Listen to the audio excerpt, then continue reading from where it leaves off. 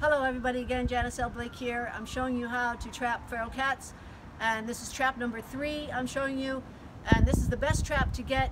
It's the easiest to operate, it's the quietest and the cats like it the best.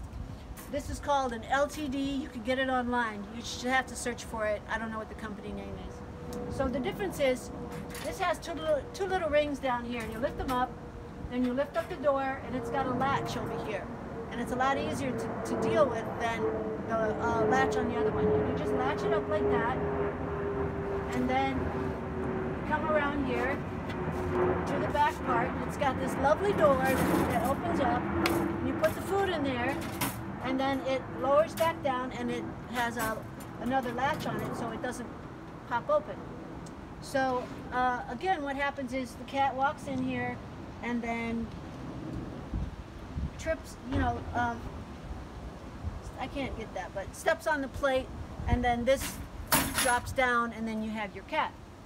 Then once you have the, the cat trapped in there, you don't run up to the trap because the, the cats aren't used to human um, uh, being so close to humans, so they're going to freak out and they're going to headbutt the, the trap and they're going to scrape their face up and stuff like that. So you walk up very slowly. When you deal with animals, everything is slow and easy quiet.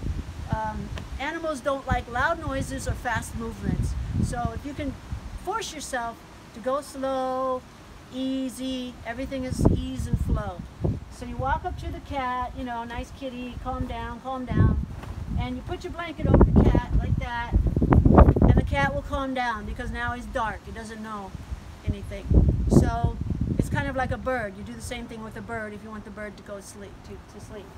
So that's the way um, you use this trap. This, see, I'll show you here. Um, this trap has the rings and it's a lot easier to operate. And this trap has the door where you have to kind of bend back the um, bar and then you have to lift it up and then you have to uh, latch it up like that. And this one is so much more, much easier.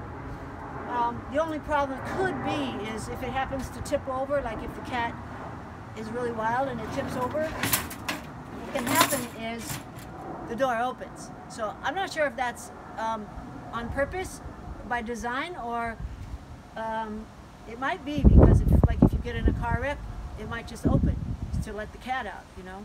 So anyway, that's something that you have to watch. You don't put it on an uneven um, surface in your car.